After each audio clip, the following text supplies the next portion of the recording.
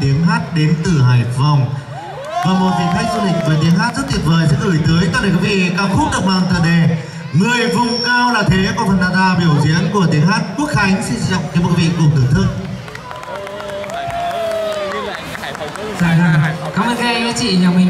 Chúc à, toàn thể quý khách đến từ 63 tỉnh thành có mặt tại thành phố Cao Bằng ngày hôm nay một sức khỏe dồi dào bên những người yêu thương nhất. Em là hướng dẫn viên du lịch to cao nhất thế giới đến từ Hải Phòng. Hát một bài tặng cho người Cao Bằng. Người vùng cao là thế. À, ok ạ, không ạ? Anh ơi, à, nếu như mà nó có bị ngán mạng thì cứ không không không sao đâu anh nhá À, à, à, hy vọng là quý khách như mình thì sẽ có một đêm thật là vui tươi bên cái thành phố xinh đẹp này.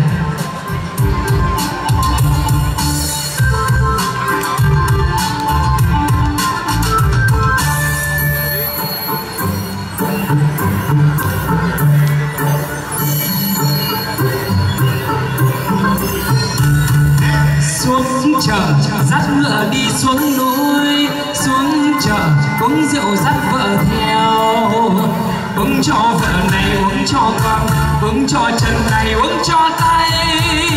Chồng uống vợ say, người uống ngựa say. Xuống chợ xuống chợ ăn thắng cố xuống chợ xuống chợ uống rượu ngô uống cho mày này, uống cho tao, uống cho tiếng kèn